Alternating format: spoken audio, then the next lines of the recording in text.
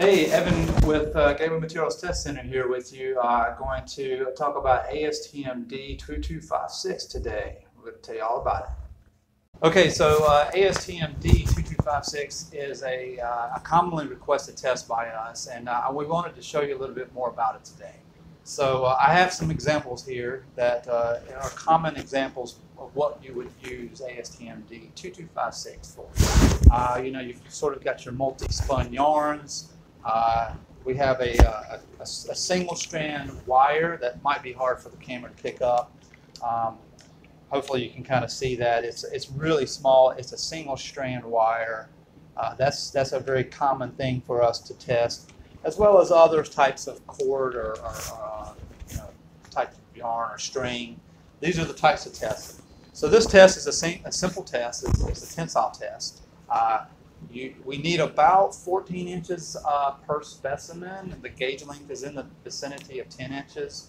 Um, and it's real simple. You put it on the grips, you pull it, and the information that you get from this test is strength, elongation, um, and that sort of stuff. And so this test is real simple. Uh, these are the types of things we do. And uh, I'll, let's get to the machine and show you how it's done. So here we have our yarn specimen set into a pair of pneumatic grips with smooth, flat faces. We have the PSI set to roughly 15.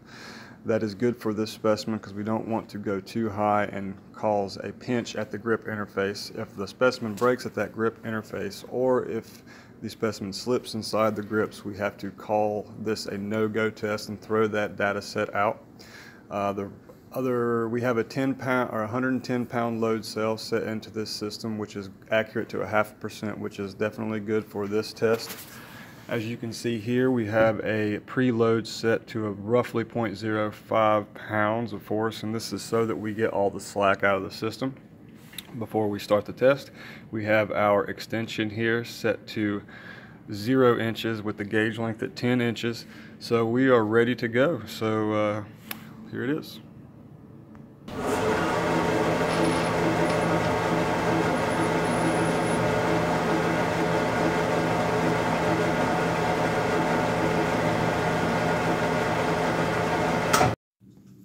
So as you can see there, we had a good test for our yarn specimen. It broke in between the grips, not at the interface, and there was no slippage. As you can see from the graph, we had a good load path and a good break. So next we're going to show you the same test with a metallic fiber.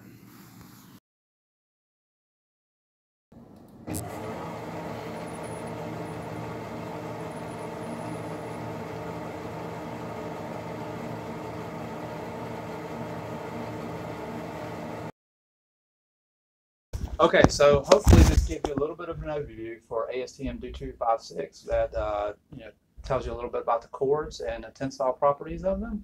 If this is something that we can help you with here at Gateway Materials Test Center, please give us a call, 336-217-5184, or you can visit the website, gatewaymaterialstestcenter.com.